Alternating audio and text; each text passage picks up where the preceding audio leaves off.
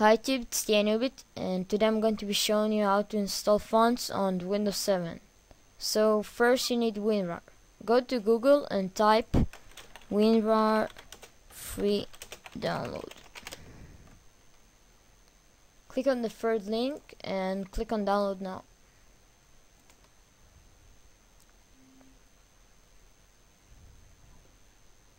And save the file.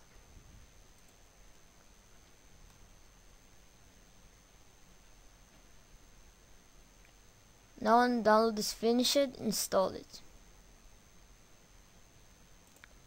Click on yes and click on install. Okay, and done. Now go to Google and search for a font.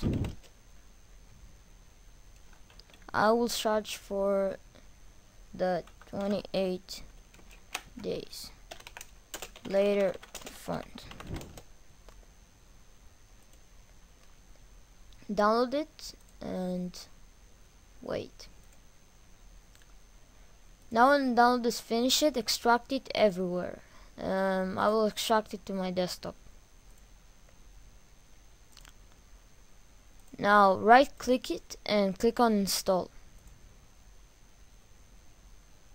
And here you have it. Um, thanks for watching. Subscribe. Bye.